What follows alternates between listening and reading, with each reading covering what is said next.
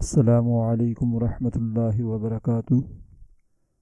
اللہ رب العزت کی حمد و ثناء اور نبی اکرم صلی اللہ علیہ وسلم کی ذات اقدس پر لاکھوں کروڑوں درود و سلام کے نظر آنے کے بعد دعا ہے کہ اللہ پاک کی رحمت ہر آن ہر گھڑی شامل حال ہو، ہمارے بیمار صحت یاب ہوں، ہمارے رزق میں وسعت اور فراوانی ہو۔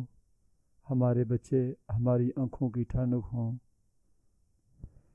آج ہم جس وظیفے کے بارے میں یا جو ہمارا موضوع ہے، وہ ہے میاں اور بیوی کی محبت، میاں اور بیوی کے جھگڑے۔ آج کے دور میں ہر شخص مختلف گھریلو پریشانیوں اور مسائل میں گھرا ہوا ہے۔ کوئی کاروبار سے پریشان ہے تو کوئی اولاد کی نافرمانی کی وجہ سے پریشان ہے۔ پریشان اور پریشانی کی ایک بہت بڑی وجہ میاں اور بیوی کی آپس کی نا اتفاقی کا ہونا ہے۔ آپس میں محبت نہ ہونے کے سبب اکثر میاں بیوی کا آپس میں لڑائی جھگڑا رہتا ہے، جس سے گھر کا ماحول خراب ہو جاتا ہے۔ گھر کا کچا ہوا ماحول بے برکتی کا سبب بنتا ہے۔ گھر میں لڑائی، جھگڑے کی وجہ سے بچوں کی تربیت بھی متاثر ہوتی ہے اور بچے مختلف قسم کی ذہنی اور نفسیاتی مسائل کا شکار ہو جاتے ہیں، جس سے ان کی پڑھائی توجہ نہیں دیتی، جس کی وجہ سے بچوں کا مستقبل تباہ ہو جاتے ہیں یاد رکھیں، میاں بیوی کی آپس میں لڑائی کی وجہ نمبر ایک، منفی خیالات. نمبر دو، غلط فہمیاں. نمبر تین، عدم اعتماد. سب سے بڑی وجہ، ایک دوسرے پر اعتماد کرنا کرنا. میاں، آپ اس بات کو غور سے سنیں اور سمجھیں. سارا دن آفس میں ہوتے، کاروبار میں ہوتے، گھر سے باہر ہوتے تعلقات ہوتے ہیں، لین دین ہوتے ہیں، مردوں کے ساتھ ہوتے ہیں، عورتوں کے ساتھ ہوتے آفس بوائے کے ساتھ ہوتے ہیں آفس میں لڑکیاں ہوتی ہیں۔ پھر جب گھر لوٹتے ہیں تو ان کی کالیں آتی ہیں بعض اوقات، خواتین کی کالیں آتی ہیں۔ عورت کو اپنے میاں کے اوپر سو فیصد اعتماد جب ہوگا تو دونوں کی محبت ہوگی۔ دوسرا، منفی خیالات اور غلط فہمی ہوتی ہیں، جو مختلف طریقے سے ان کے گھر میں داخل ہوتی ہیں۔ یا تو لڑکے والوں کی طرف سے داخل ہوتی ہیں، اس کی بہنوں کی طرف سے داخل ہوتی ہیں، یا لڑکی والوں کی طرف سے۔ ان سب کا صرف اور صرف ایک ہی حل ہے کہ آپ کسی کی بات پر یقین نہ رکھیں۔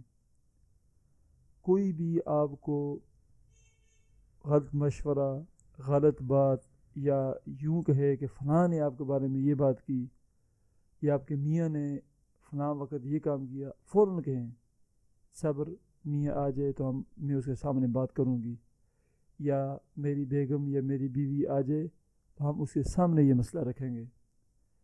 جب آپ یہ کام شروع کریں گے تو غلط فہمیاں پیدا کرنے والے لوگ خود بہت آہستہ آہستہ دور ہو جائیں گے۔ اب ہم آتے ہیں وظیفے کی طرف۔ یہ تو چیز تھی عدم اعتماد، غلط فہمیاں کہ کوئی بھی شخص آپ کو اگر یوں کہے کہ فلاں کام ہو گیا، آپ کے میاں نے یہ کر دیا یا میاں سے کہ بیوی نے یہ کر دیا، تو بجائے اس کی بات پہ یقین کرنے کے اسی کو پکڑیں۔ کہیں چلو چلتے ہیں میاں کے ساتھ، یہ شام کو میاں کے پاس بیٹھیں گے، آپ نے ہونا ہے، ادھر حاضر ہونا ہے۔ جب آپ یہ کام شروع کریں گے تو غلط فہمیاں پیدا کرنے والے اکثر دوسرے لوگ ہوتے ہیں، غیر ہوتے ہیں جو آپ کی محبت کو نہیں دیکھ سکتے، آپ کی خوشی کو نہیں دیکھ سکتے، آپ کے اتفاق کو نہیں دیکھ سکتے، آپ کے بچوں کا، آپ کے والدین کی محبت کو نہیں دیکھ سکتے۔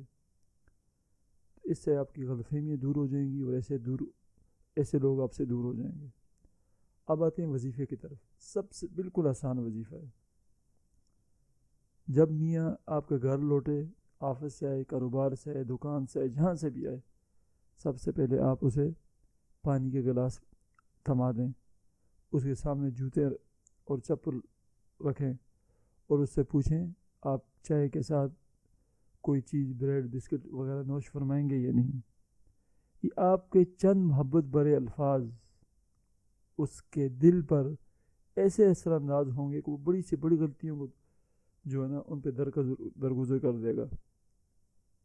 اس کے بعد بسا اوقات میاں، غصے میں ہوتا ہے، جو بھی ہو، آپ نے چپ کا تالا لگانا ہے۔ آپ نے آگے سے زبان بند کرنی ہے۔ جھگڑے اور فساد، لڑائی کا بالخصوص گھریلو جھگڑوں کا حل صرف اور صرف یہ ہے کہ آپ نے آگے سے زبان بند کرنی ہے۔ اور صرف اور صرف دو کام کرنے ہیں، خواہ میاں ہو، خواہ بیوی ہو۔ صرف دو یا ودود ہو، بالکل آسان ہے۔ اس کو کثرت سے پڑھیں۔ بالخصوص میاں جب گھر پہ ہو، اس کے سامنے چکر لگاتے ہو، یا دل میں یا ودود ہو، یا میاں نے پڑھنا ہے تو یا ودود ہو، اور استغفار۔ یہ تین کام آپ کر لیں۔ میاں سے محبت، میاں سے پوچھنا گچھنا چائے وغیرہ چیز کی۔ نمبر دو، اس کے سامنے بالکل چپ کا تالا لگا دینا، خاموش رہنا چاہے وہ کتنا ہی غصے میں ہو اس وقت۔ نمبر تین، اگر اس کے والدین حیات ہیں، ان کے ساتھ محبت برے الفاظ، ان کا خیال رکھنا۔ اور نمبر چار، یا ودود کم از کم دو سو بار صبح، دو سو بار دوپہر کو، دو سو بار شام کو۔ یہ دو دو ٹیبلٹ صبح، دوپہر، شام کو اپنے کھانے۔ اور اسی طرح استغفار۔ اللہ رب العزت ہمیں محبت اتفاق اور اتحاد نصیب فرمائے۔ اگر آپ کی، آپ کو ہماری یہ ویڈیو اور قرآن و سنت شریعت کے مطابق جو وظائفہ مطالعے اچھے لگے تو ہمارے چینل ہیپی لائف کو ضرور سبسکرائب کیجیے گا، لائک کیجیے گا، کمنٹ دیجیے گا۔ اللہ حافظ۔